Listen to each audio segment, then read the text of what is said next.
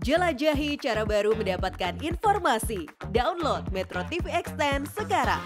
Kalau hari ini kan baru beberapa hari ya. Oh, iya, iya. Nah, nah, baru ganti namanya gitu, dan muncul di sus itu. Tapi sorot dulu bahwa kantor penguasa ini mau Pak Yusril makin berkibar kan.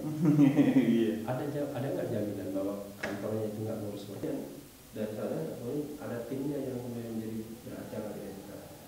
Walaupun dia tidak menyebut. Ini gimana?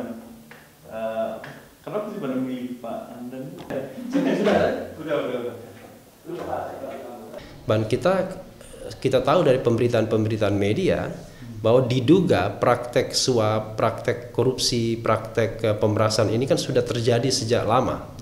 Dengan eh, terkonfirmasinya misalnya apa eh, transfer ke CV Ratu Samagat sejak tahun 2010. Nah, itu kan satu indikasi bahwa praktek ini kan sudah terjadi ketika Pak Akil satu panel dengan Pak Hamdan Zulfa. Nah, sekali lagi kita tidak menuduh tapi fakta ini harus publik tahu ya agar jangan sampai kemudian kita melakukan kesalahan kedua kali ya.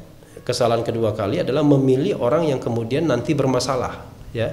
Karena itu kita harus pastikan betul Pak Hamdan saya kira tidak perlu apa tidak perlu tersinggung dengan mendengar statement yang keras ini.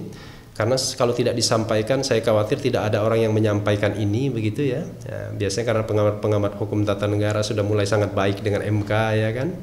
Nah, karena itu eh, kalau seandainya yang bersangkutan clear fine jalan saja lurus. Masyarakat akan mengapresiasi bangsa ini akan mengapresiasi.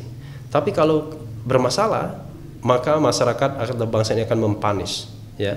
Jadi pernyataan pribadi ini tidak terlalu penting. Yang penting bagaimana menjaga apa betul-betul clear ya sehingga nanti masyarakat akan mendapatkan apresiasi. Dan kalau Pak Hamdan berprestasi dalam memimpin MK ya maka saya kira bangsa dan negara ini akan mengingatnya sebagai salah satu peletak dasar apa eh, MK yang bersih, modern, terpercaya dan sebagainya begitu. Ya. Cara mudah mendapatkan informasi dengan satu sentuhan jari. Download Metro TV Extend.